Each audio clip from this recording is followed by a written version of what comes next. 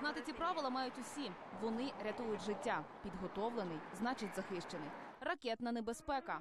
Під час повітряної тривоги негайно прямуйте в укриття. Обстріл застав на вулиці, лягайте на землю, голову прикрийте руками. А вдома користуйтесь правилом двох стін.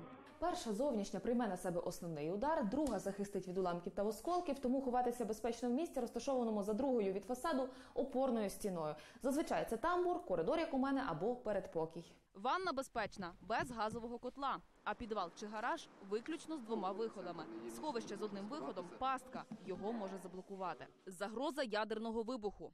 У разі радіаційної загрози зайти в приміщення, вікна та двері зачинити, отвори ущільнити, кондиціонери вимкнути, зняти одяг, на який міг осісти радіоактивний пил, прийняти душ і чекати на офіційні повідомлення від ДСНС поліції влади. І тільки після відповідної вказівки, не превентивно, бо це може зашкодити здоров'ю, взятись до йодної профілактики. Розчин йоду не допоможе. Виключно йодит калію одноразово. Дози бачите на своїх екранах. При радіаційній загрозі їжа безпечна та що в холодильнику, герметичних ємностях, а вода що в пластикових пляшках. Тривожна валізка.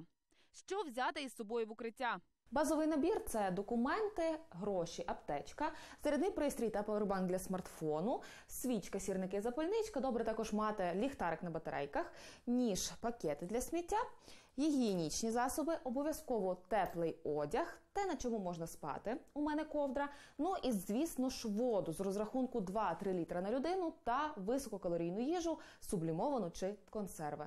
Зробіть удома стратегічний запас питної води, харчів і взагалі всього перечисленого вмісту тривожної валізки. Адже ці речі допоможуть вам і у випадку тривалої відсутності комунікації. Що робити у разі відключення електроенергії? Вимкніть з розеток електроприлади, щоб уникнути їх пошкодження через перепади напруги. Запасіться сухим спиртом. Він допоможе швидко приготувати чи підігріти їжу. Спирт легко запалюється сірником і горить без диму та запаху.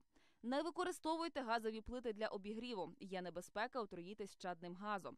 Якщо в домі є ліфт, переконайтеся, що у ньому ніхто не застряг. Стежте за офіційними повідомленнями влади або ДСНС. Зберегти заряд смартфона.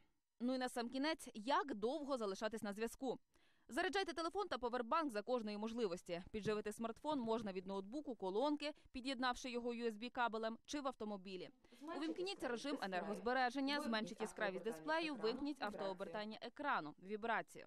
Видаліть некритичні для вас застосунки. Залиште тільки ті, від яких залежить ваше життя. Дзвінки, месенджери, застосунок, повітряна тривога. Якщо є альтернативний зв'язок, переведіть смартфон у режим польоту. Усі важливі номери перенесіть на папір на випадок, якщо батарея сяде.